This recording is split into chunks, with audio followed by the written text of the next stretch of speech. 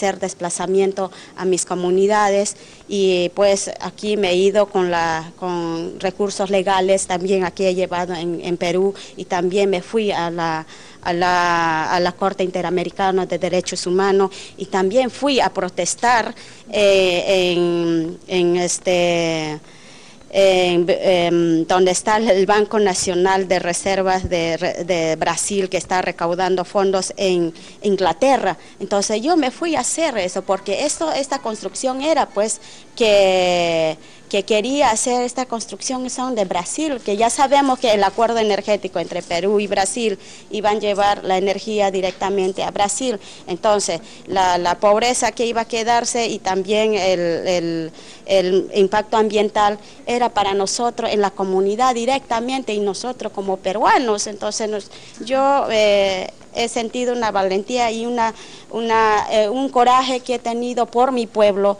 que no podría yo permitirlo que, una inversión de, grande escala que nos, que nos diera esta, que esta desgracia en nuestra comunidad.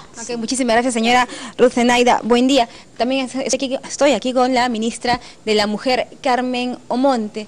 Ministra, eh, y para hablar también de otros temas, de otras mujeres, ¿cómo ve usted, por ejemplo, lo que dijo su predecesora en el cargo eh, refiriéndose ya al tema de Nadine Heredia, de que eh, usted eh, comparte esa idea de que el pueblo peruano no está preparado para una lideresa como ella. antes de comentar sobre otro tema, permítame reconocer públicamente a través de las cámaras el trabajo, la trascendencia que tiene Ruth Buendía para todas las mujeres peruanas, no solamente para las mujeres eh, ayánicas, las mujeres nativas de nuestro país, sino en general. Eh, Ruth es ejemplo de mujer peruana que pese a todas las vicisitudes, ella representa a un pueblo que sufrió décadas no solamente de postergación, sino también en la época tremenda, terrible del terrorismo, fue uno de los pueblos más sometidos, que sufrió más la violencia del terrorismo. Actualmente en su valle tienen eh, presencia del narcotráfico eh, de producción eh, cocalera y definitivamente necesitan que como Estado tengamos mayor presencia.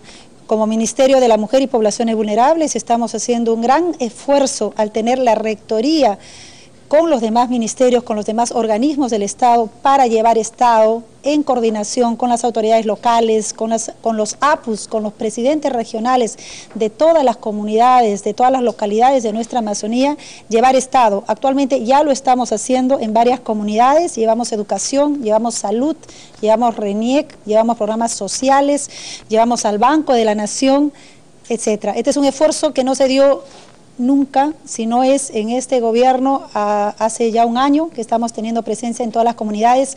Confío que esta reunión con Ruth, a quien tengo un gran cariño, un gran respeto, eh, podamos también coordinar esfuerzos eh, que hagamos en un futuro inmediato con su comunidad como Ministerio de la Mujer y Poblaciones Vulnerables. Con respecto ya a la pregunta